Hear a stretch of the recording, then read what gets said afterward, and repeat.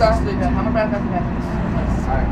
At chance to pass through, definitely failing English. And eight. Other than me right now. I'm definitely failing French. I'm I could pass geography. Could. You failed geography though? So I'm not going still.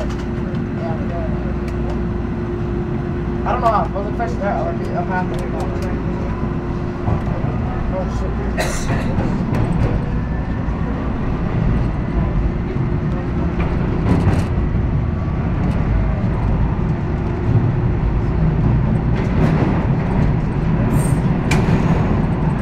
another drink. This bowl for the kids. Here's what you this bowl for kids and I'll tap off the pillow. Tap off this and tap off this tap off. Oh, What's that? Right.